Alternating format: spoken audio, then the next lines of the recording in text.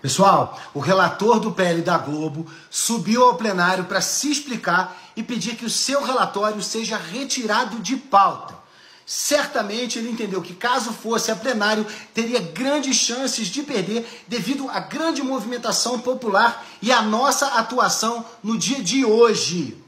Uma tropa é formada por várias frentes. E nessa guerra, a nossa infantaria foram vocês, a população aguerrida e que sabe da importância de acompanhar a política e fazer as cobranças necessárias. Meu muito obrigado ao povo brasileiro pela demonstração de poder e pela coragem no enfrentamento.